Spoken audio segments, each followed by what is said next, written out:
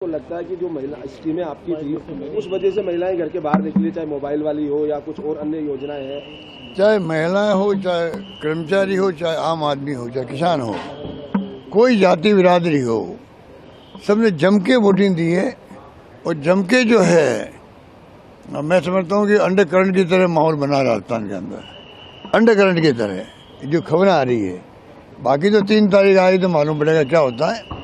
हमें जो भी फैसला होगा विथ ह्यूमिलिटी हम स्वीकार करेंगे उसको। और हमने कोई कमी रखी नहीं और जनता ने भी कमी रखी नहीं मेरे ख्याल से। सर आपने कल भी फीडबैक लिया है दिन भर फीडबैक लिया है। फीडबैक के आधार पर आपने बताया अभी का अंडर करंट है तो सरकार रिपीट हो रही है।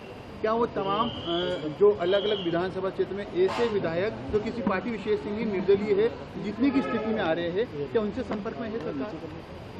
आपको बताएँगे? कोई संपर्क में होगा भी कोई पार्टी वाले? आपको बताएँगे क्या? वो तो स्वतः ही स्वाभाविक संपर्क हो जाता है अपना आप ही हो जाता है। इसलिए कोई कहने की ज़रूरत नहीं होती है। पर इस बार जो है मैं समझता हूँ कांग्रेस को स्पष्ट बहुमत मिलने जा रहा है भारी बहुमत मिलने जा रहा है। ओल्ड ट्रेंड के आधार पर- एक ट्रेंड के आधार पर मान ओल्ड रहे पेंशन स्कीम कितना फ़ायदेमंद होगी? क्योंकि इस बार अरे आप मैं जब सब कह रहा हूँ भाई ओपीएस हो चाहे वो आर जी एस हो चाहे वो हमारी कानून हो, चाहे हमारी स्कीमें हों, चाहे वो हमारी गारंटी हो, सबको लोगों ने लाइक किया।